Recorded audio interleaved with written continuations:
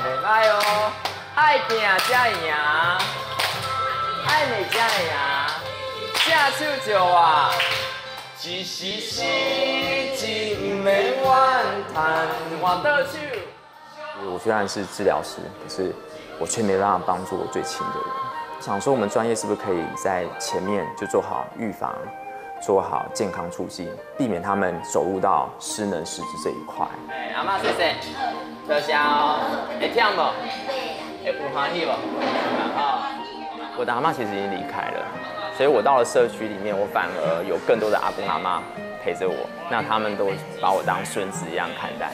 所以我觉得，呃，那种互动就像自己的家人啊，所以每次我觉得都很感动。对有，不是红色帽子，是黑色帽子啊。对啦。我的付出可以让我有更多的能量，在不管是工作上、事业的发展上，或是持续更多的付出和服务，是很有帮助的。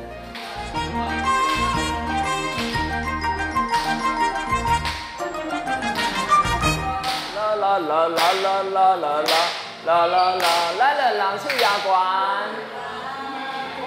袂歹哦，你教我，袂歹哦，小雨伞，一支小雨伞，阿妈你好。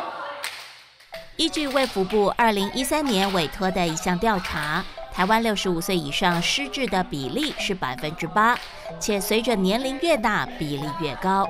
不过还不到失智症的程度，而有轻度认知障碍的六十五岁以上长者比例高达百分之十九，也就是每五名长者之中就有一人有认知障碍的困扰。掌声鼓励一下。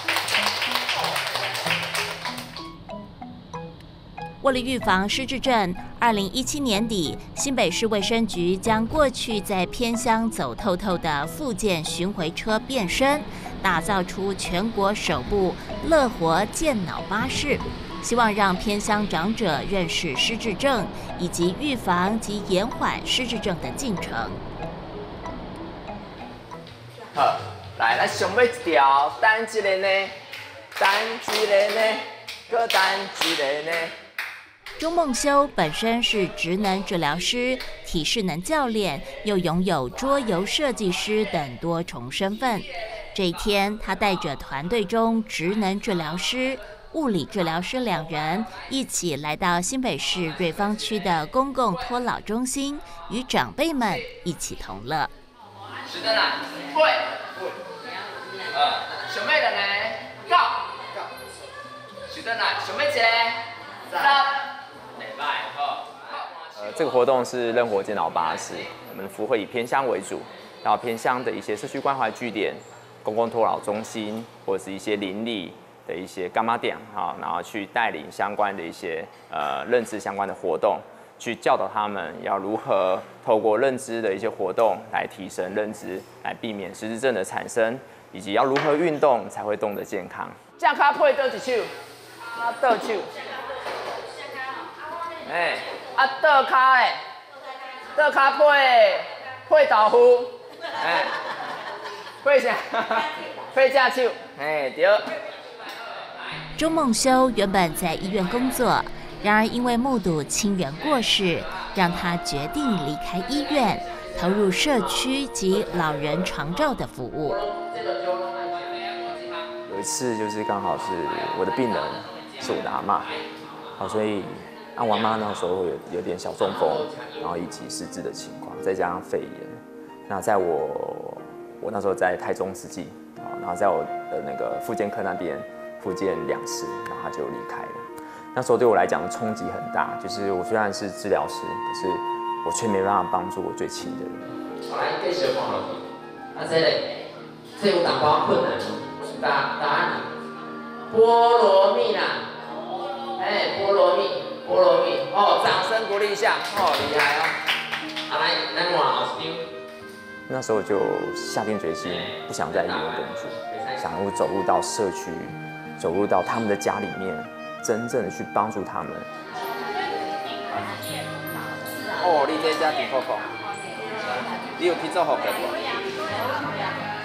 来去做福建，无效是无无奈无去做，没啦。我觉得陪伴才是最关键。好，那陪伴，呃，你有没有陪伴到心坎里？我觉得也很重要。所以有时候不是我们去讲我们的事情，而是站他们立场去询问他们，去了解他们。那他们讲的话就有很多。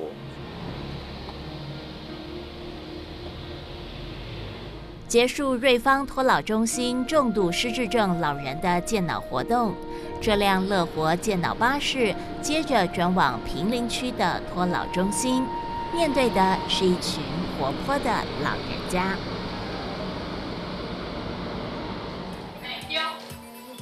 无阮开始之前吼，先来叮当手指一下，吼，哎，能能，拍开还是拍开，哦，能吼，这手收起来。啊，我们活动设计呢，主要是用还是以认知刺激，但认知刺激不是只有呃认知的相关的动脑的活动，它也会包含运动。那如果是健康的长辈呢，我们都会一些比较哎新的一些元素，好动脑的一些元素，好玩有趣的元素来带领他们，来透过这样的方式来刺激他们的大脑，训练他们的大脑。来，奶奶，我哩，来等家等家。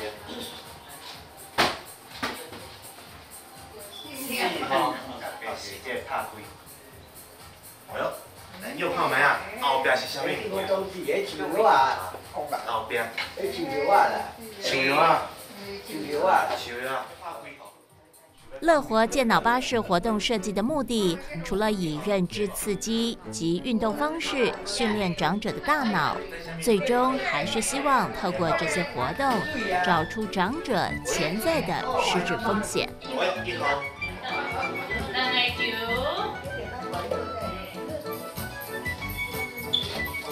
哎，啊，搁一个，搁一个，哎，卖人手，卖人手，哎，安尼对。那对于社区来讲，他们很少有这样的医疗人员可以进入，所以有时候我们进来，我们除了带团客以外，我们设计的团客也会比较强度比较高一点点。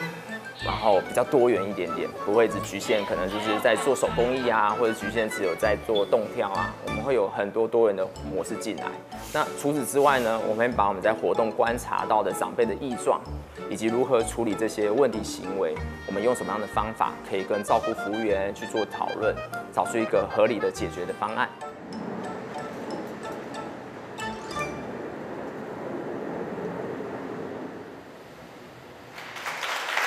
OK，大家好，呃，我是周梦修，那我本身是一位职能治疗师，好，很开心今天到这边跟大家分享有关于乐龄的活动要怎么带领。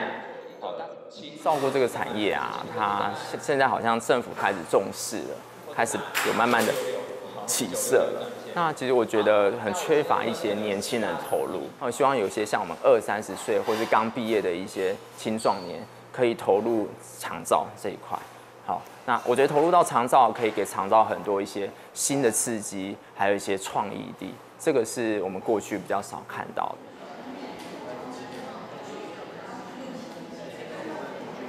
如果出现三张牌是一模一样的，三张牌是一模一样的，你就要用你的手去拍它，这样了解吗？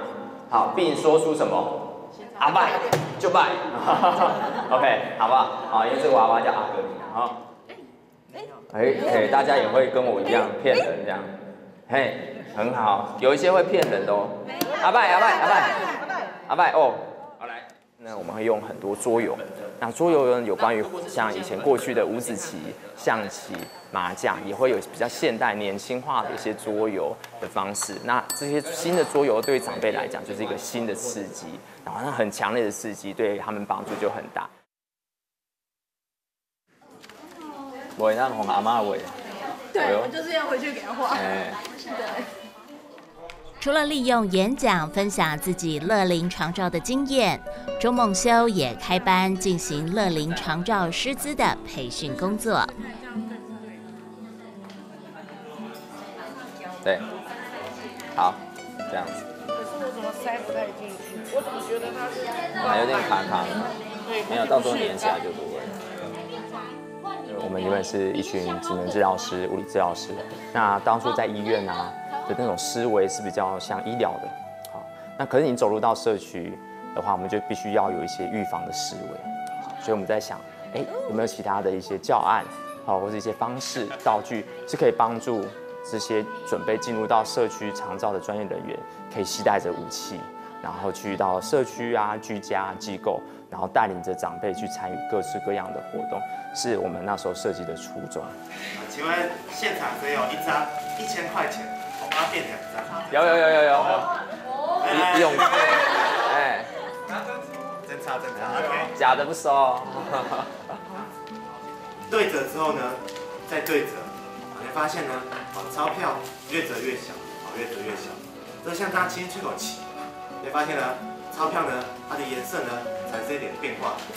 它一张蓝色一千块呢，变成了两张。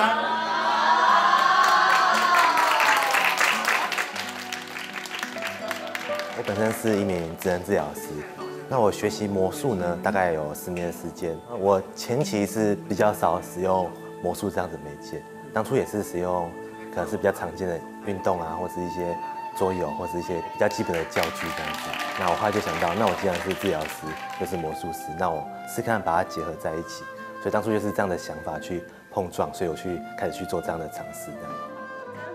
在培训课程中，静静坐在位置上的一位阿嬷特别引人注目。她是培训学员徐小兰的失智阿妈。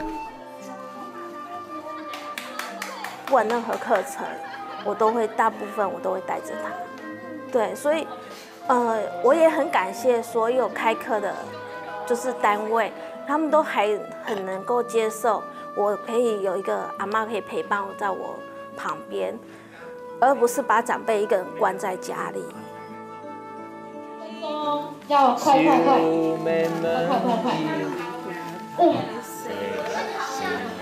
来哦，啊，训练有好听吗？嗯，啊，你训练嘛袂歹听。